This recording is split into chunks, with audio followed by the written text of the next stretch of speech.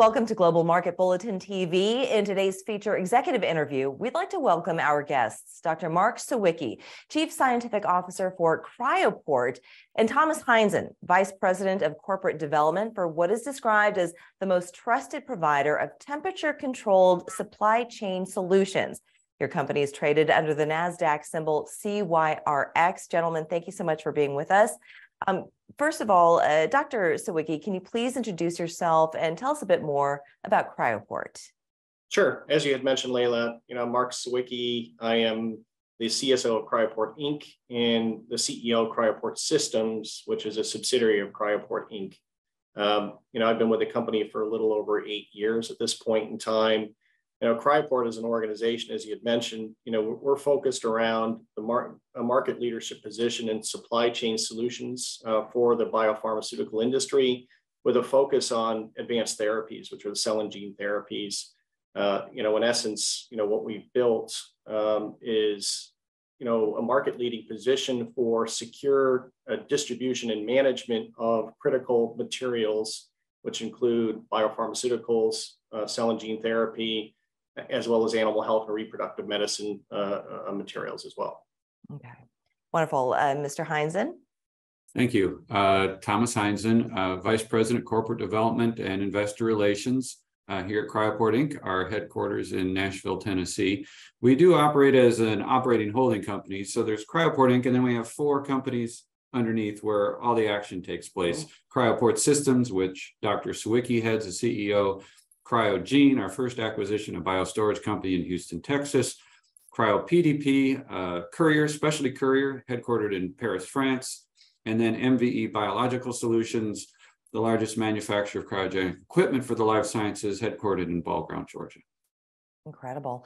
Uh, let's stay with you, Mr. Heinzen. Uh, recently, you reported fourth quarter and full year 2022 results, which included highlights such as reaching $237 million in total revenue with commercial revenue up by 27%, as well as the news that Cryoport is supporting a record 654 global clinical trials and 10 commercial therapies. So, can you give us an update regarding that information and any executive commentary regarding the news? Uh, thank you. Yeah, and we've come a long way in, in really a short period of time. Just give you a little context, I came here about eight years ago as well. Uh, I think I was the 34th employee. We had one location in California. We were supporting about 49 clinical trials at that time, and we ended that year with 3.9 million in revenue. Uh, you know, fast forward to today, and we've got over a thousand employees. We're spread out around 15 countries with 30, 38 locations.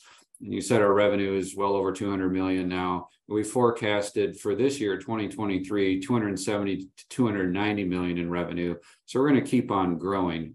Um, we're really focused on, as, as Mark said, the cell and gene therapy industry. We do have two other markets, animal health and human reproductive. But most people, most investors out there think of us as the leading company moving around cell and gene therapies every day. But what we've really done is create a platform.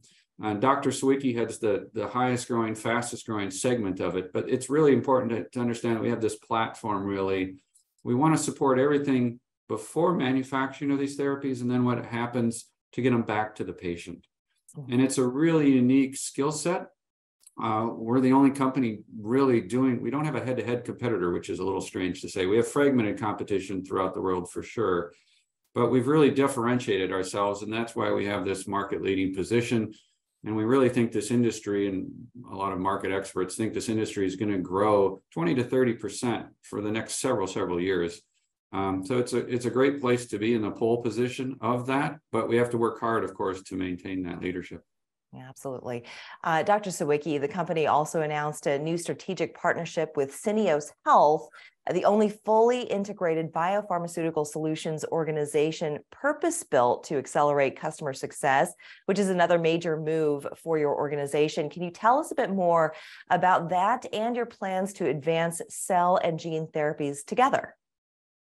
Yeah, absolutely. Thanks. Um, as, as, you had mentioned, and I'll just build on what Tom was just talking about. You know, we've really focused on the re, on the uh, advanced therapy or regenerative medicine space, and uh, you know, building a significant portfolio, which is the majority of programs, both clinically and commercially. Um, you know, uh, you know, from, from a support standpoint, um, we have a very unique position in the market. Uh, and, and Cryoport as a whole has a focus on regenerative medicine.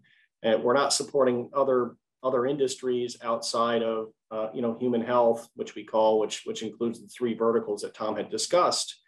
Um, but Syneos was an early adopter into the cell and gene space as well. And so what we're building together is a fully integrated platform which incorporates all of our supply chain activities, uh, which is now extending further upstream into the actual apheresis collection, which is the blood collection process, as well as the cryoprocessing of that blood.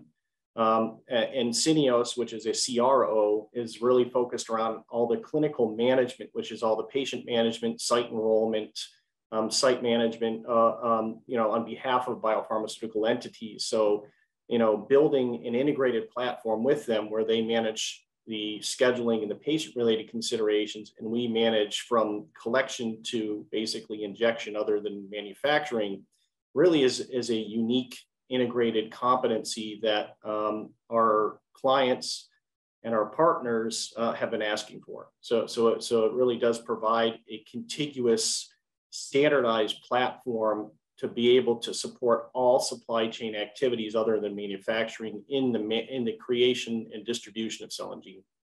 Mm-hmm. And let me ask you this what do you feel is the current biggest problem and market opportunity in cell and gene therapies that Cryoport is working to address across the research, clinical, and commercial spectrum? Sure, there's two areas that are that are the challenges in the market today. One is fragmentation of, of the supply chain. Um, you know, cell and gene is really early in its development if you if you you know equate it to a baseball analogy, we're really at the bottom of the first inning.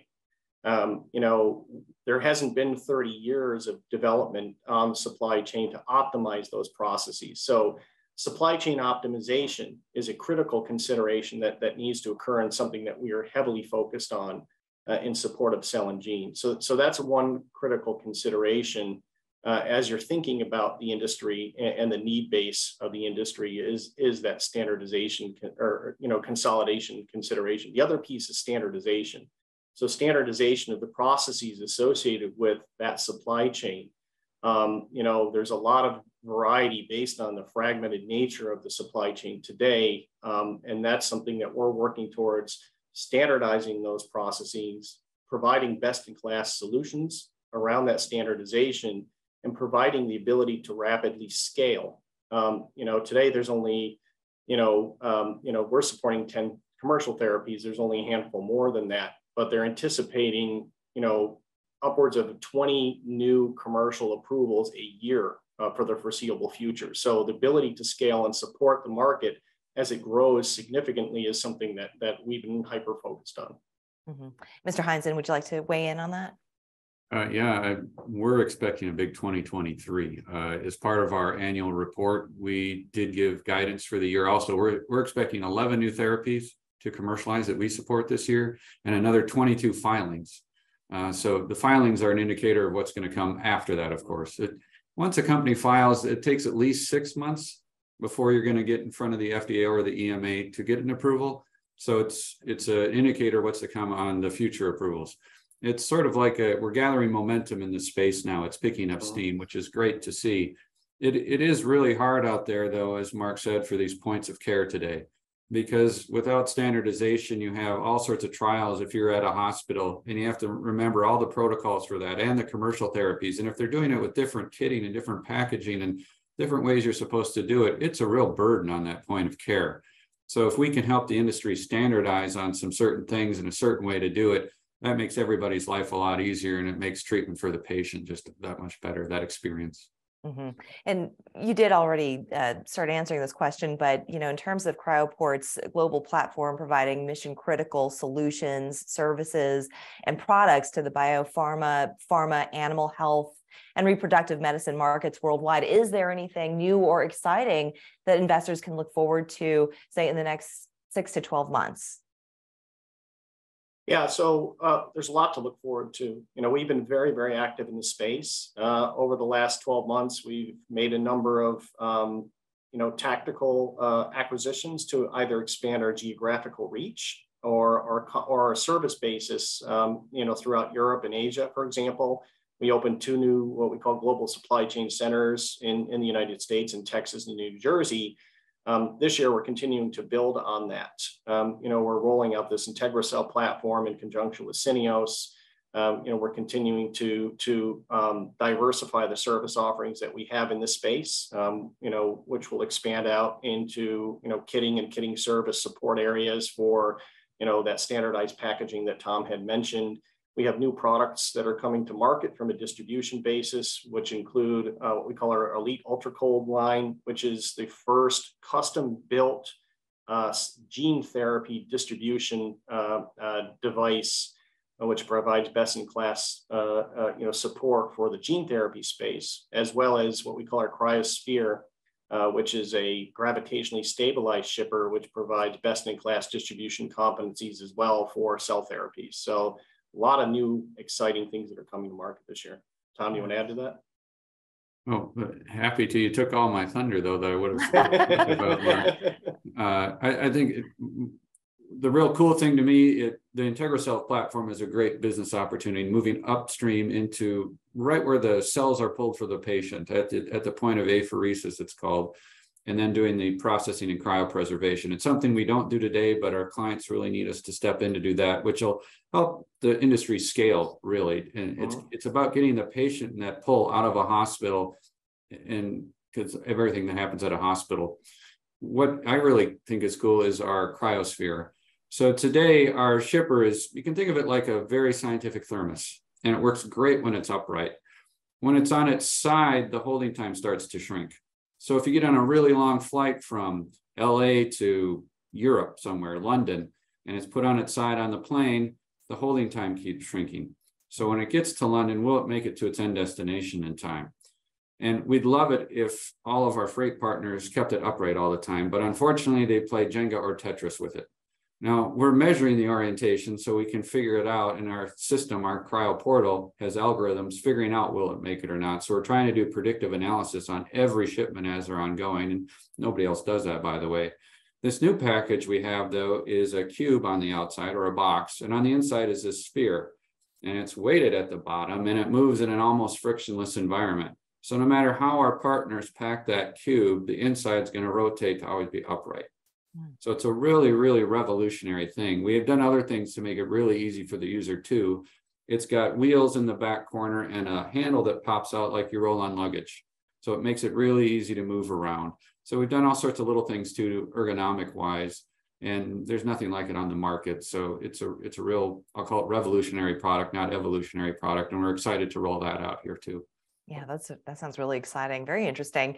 Um, well, let's let's try to get some more of that thunder back for you, Mr. Heinzen. What's next in the pipeline for the next three or five years for Cryoport as you enter 2023 with 523 million dollars in cash and short-term investments and revenue guidance of 270 to 290 million dollars, up 18% year over year at the midpoint.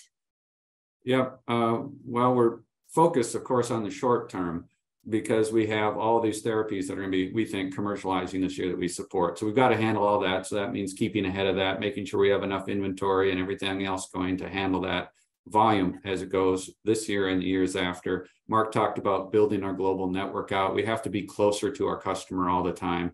When that therapy is manufactured, we want to pick it up the same day or the next day because often there's a patient dying waiting for it. So all that has happening. That's what we do. We also have this cash balance and we are looking at inorganic opportunities, acquisitions or merger opportunities, but we're very particular and very disciplined about that. We're not going to try to buy something out of bankruptcy or fix somebody else's problem. We're running as fast as we can right now to keep up what we have. To do that would really take our eye off the balls, and that's a recipe for disaster. So we obviously have our financial metrics and valuation. That you know that's a given that you have to have. And then there's strategic, tactical, and cultural considerations. We're very big on the culture. If the culture doesn't fit, we really don't care what the math is. If the culture isn't there, we're not going to do it either. So we're very disciplined to make sure that we can further our company, increase our breadth of services, and that's where we're focused there. We're just really excited because, as Mark said, this industry is just beginning. 10 commercial therapies, 654 clinical trials, 79 in phase three, 300 in phase two. There's a lot coming in this industry. Now, not all those trials are going to make it for sure, but a good percentage of them will. And it's going to help a lot of people. It's really the next pillar in medicine that we're really excited about. Terrific. And Dr. Sawicki, do you have any final thoughts? I think Tom closed perfectly. so terrific. I, I couldn't I have done it better so. myself. okay, wonderful. Well, gentlemen, this has been extremely infor- information informative, I should say today. Um, and if you could just please let our audience know the best place where they can find more information. Uh, cryoport.com, C R Y O P O R T.com would do it. Terrific. Well, thank you thank so you, much for your time. And we look forward to monitoring your company's progress and success and speaking to you again in the near future. Terrific. Thank, thank you, Leyla. Thank you.